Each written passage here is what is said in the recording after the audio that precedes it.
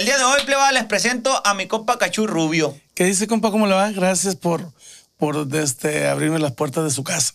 No, no, encantado, viejo. ¿Qué dice a la que se quiere a dormir? ¿Verdad? A lo mejor ah, eh, nos pega la patadita de, que ocupamos para irnos hasta el Keki. Ya está, aquí estamos a la orden. ¿Eh?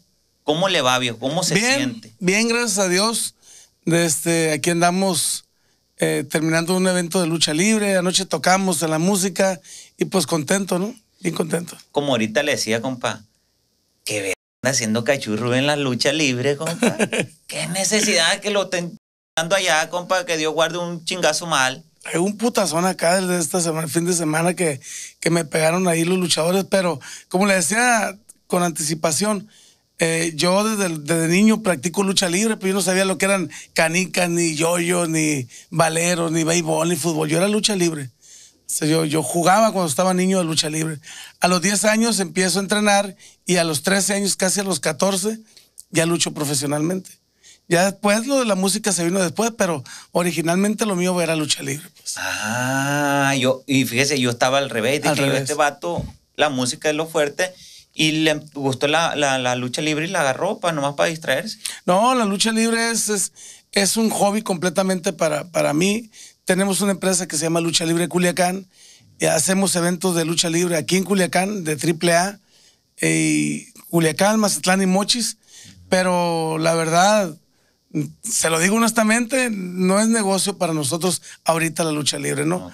Lo hago propiamente para deporte y para hobby, porque ese es... Y aparte me imagino para apoyar también lo que es esto, ¿va? Es- Claro, de ahí van saliendo luchadores nuevos, como la máscara cochina que trae usted de... Un saludo para mi compa Ronnie por la máscara que se la rifó. Dice mi compa Cachú que me va a regalar una más perra.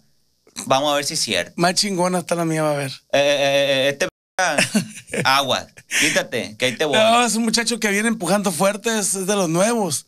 Salió ahí con nosotros también de Lucha Libre Culiacán y ahí la lleva. Es una persona que, que queremos mucho nosotros y lo estimamos y, y es buen chamaco. No, le, y le echa ganas al güey. Sí, muchas ganas. Hemos visto.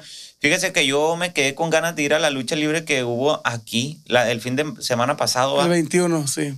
Eh, que no me acuerdo qué andaba haciendo yo, pero se pasó Se el, día.